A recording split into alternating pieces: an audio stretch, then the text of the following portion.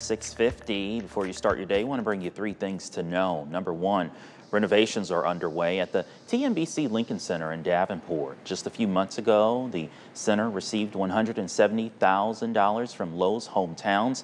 It's an organization that restores community spaces across the country. The center's executive director says the grant is helping restore the auditorium, and it's on track to have its renovations completed by the middle of November. Number two, Eldridge Police stepping up their traffic enforcement ahead of Labor Day weekend. The department says it's conducting special patrols this Friday from 3 to 11 p.m. So make sure to follow posted speed limits, wear your seatbelt, and drive sober. Number three, due to the high temperatures forecasted this week, Galesburg Waste Management is extending the early time, start time for all of its routes.